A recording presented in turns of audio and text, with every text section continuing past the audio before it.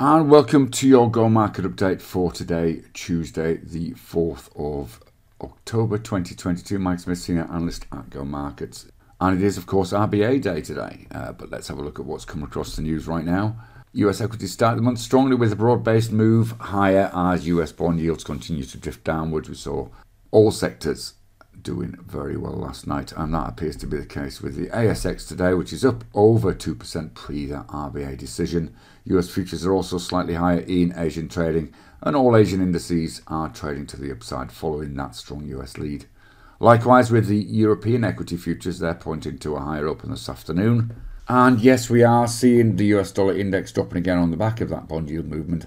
Is slightly lower again not only overnight but in this morning's trading too and consequently gold has popped higher and really quite significantly and back towards that 1700 level which you remember was a key level not so long ago. All is edging higher as it was yesterday on the back of an expectation of reduced oil production by OPEC plus and copper has also moved slightly higher trading above that 340 key resistance today. And the VIX has pulled down a little bit uh, below the 30 level Bitcoin hasn't moved much, but it is towards the top of the range, edging towards that 20,000. And if we look at the economic data, of course, it is jobs week, so we get the ADP report out of the US on Wednesday, weekly jobs Thursday, non farm payrolls Friday. Today, of course, is the RBA, but also we've got Euro PPI out this afternoon. Apart from that, a fairly quiet day, so it may be a technically driven market to see if there's any follow through on that relief rally from last night.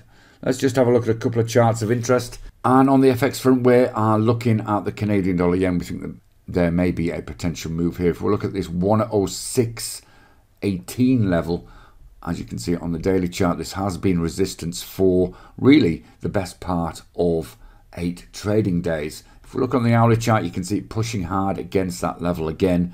And should we breach that, I think there's a fairly significant movement up around about 60 pips up towards 106.80. So that's one to keep an eye on on the FX front. Of course, there's bound to be significant movement in the Aussie subsequent to that RBA decision as well. On the ASX, we're looking at Sandfire Resources. You can see we tested that 358 support, which was last hit back in July, throughout the last week and a half. You can see today we're pushing hard against this 382 level. We think if there's a breach of that, we could see some more buying into this. This stock has been fairly well battered over the last three weeks. So there's plenty of upside here to be gained. And in the medium term, copper still looks in a reasonable place as long as we can see some demand continue. So Sandfire might be worth keeping an eye on consequently. Trade safe and we'll see you again soon. Bye bye for now.